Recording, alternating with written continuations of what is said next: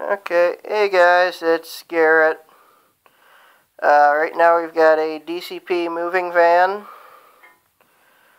I just picked it up today from a good buddy of mine. Uh, right now, or from the factory I should say, it does not, or it would not, fit anything inside of it. Truck, whatever.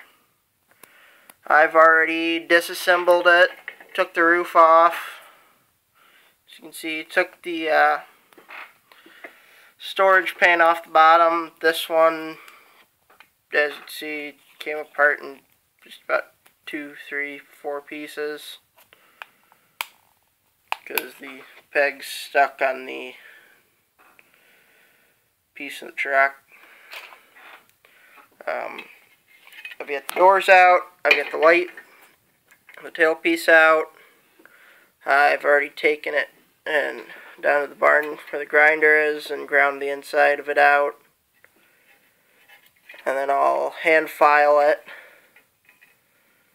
which I might show you in another video. But that's it for today. Um, upside down. 2013 two-year-old run. I've got a I bought this trailer separate, but I've got the K100 cab over that came with it.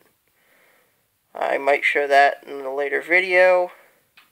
But for now, this is what I got. Thanks. Bye.